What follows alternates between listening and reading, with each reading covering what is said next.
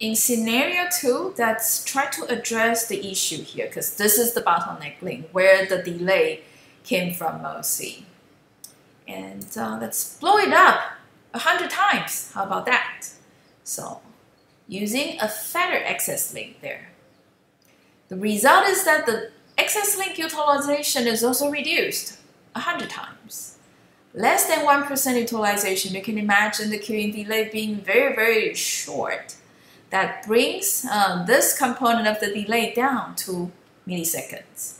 Now, why millisecond? If you recall trace route testings that we did earlier in chapter one, right? Um, what was that? Uh, quiz three or quiz four, isn't it?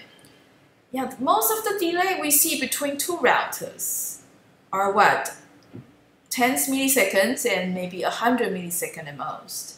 So if there's not going to be much queuing delay, yeah, the delay is at this scale.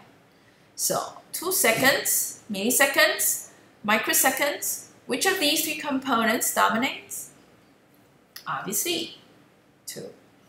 And from scenario 1, we have minutes of delay to scenario 2. We effectively bring down the total delay. All right, great. Um, is there any catch? If you think about it, Hey, bringing the access link capacity up 100%, that uh, is actually not cheap.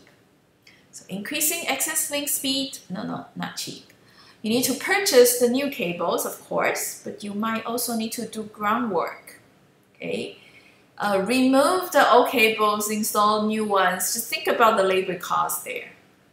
And in addition to that, you might need to upgrade the routers there connecting the high-speed link, just so that uh, you can accommodate um, potential traffic volume. So, yeah, very costly. Now in scenario three, let's see if we could introduce something else instead of blowing up the capacity in the bottleneck link.